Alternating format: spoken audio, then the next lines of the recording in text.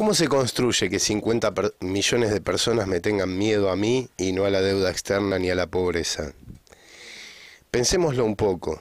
¿Cómo se construye una mano de obra internacional de 50 millones de personas, incluyendo una mano de obra local, donde todos garantizan la censura salvo honrosas excepciones muy escuetas?